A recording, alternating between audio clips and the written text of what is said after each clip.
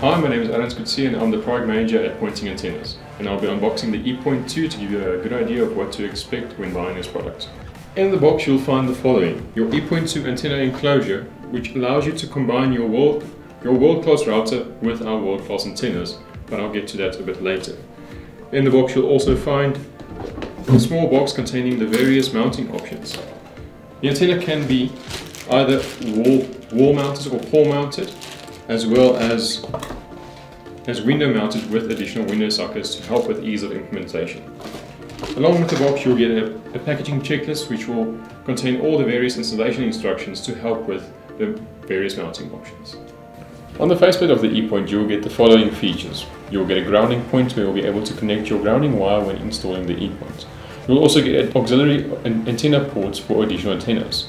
You'll get a pass-through hole for your Ethernet cable, as well as additional breakout seals for a SIM, extender or additional glands. ePoynt 2 comes with six antennas, where on the, on the right you have your four cellular antennas and on your left you have your two Wi-Fi antennas. The cellular antennas on the bottom, the top two is our unidirectional high gain XPOL 2 antenna, whereby the bottom two is our omnidirectional antenna. And these are all cross-polarized to deliver improved MIMO performance where our Wi-Fi antennas are dual band Wi-Fi for 2.4 and 5 gig and this helps with ease of implementation and accessing your router externally.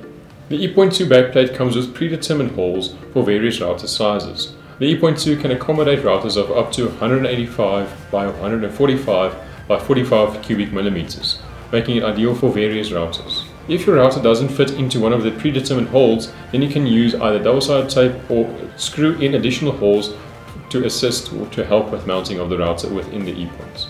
As an example, the following router fits inside our ePoynt 2 and can be mounted successfully with all the antennas and mounting options. I've unpacked the additional accessories that you will get as standard with each ePoynt.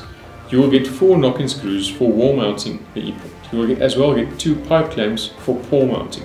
You will also get four window suckers for, for window mounting for ease of implementation. As well, you will get a, an Ethernet gland as well as a, a to protect your Ethernet cable coming out and connecting it to your router. As well, you will get four spaces as well as self-tapping screws to help with the, with the installation of your router board within your ePoynts.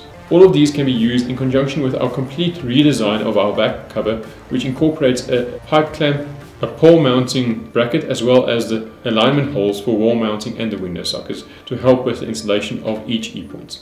Additional extras that you, that you can consider for your ePoynt are fly leads or pigtails to connect your, your multiple antennas to your router board, as well as SIM extenders to help with accessibility with your SIM from outside your ePoynt. Now the main question is where would the ePoynt 2 be used? The ePoynt 2 is perfect for fixed wireless access installations as it decreases the length, cable length required between your router and your external antenna, delivering much better performance than a normal external antenna. It's also perfect for router distributors and integrators.